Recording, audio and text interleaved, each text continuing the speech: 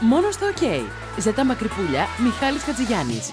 Η αλήθεια για τη σχέση τους. Σταματίνα Τσιμτσιλή. Είναι ξανά έγκυος. Φώτης Εργουλόπουλος. Η πρώτη εμφάνιση με το γιο του. Χρυσές Σφαίρες 2014. Οι διάσημες παρουσίες στο κόκκινο χαλί.